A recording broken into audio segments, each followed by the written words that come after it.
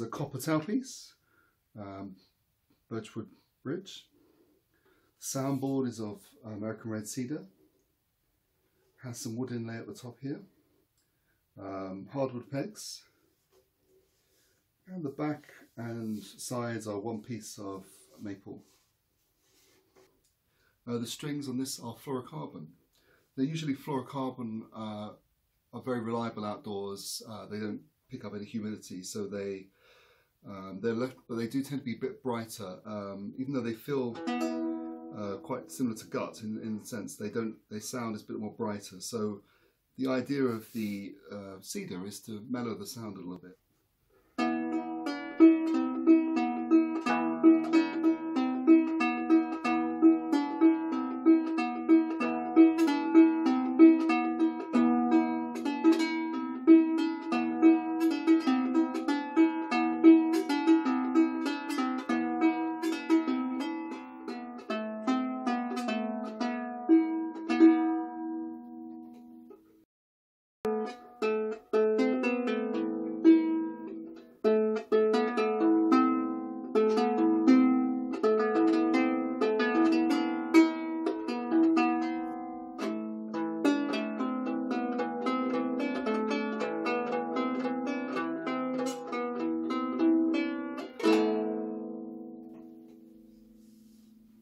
Any questions, please leave them in the comment section below and I'll get right back to you.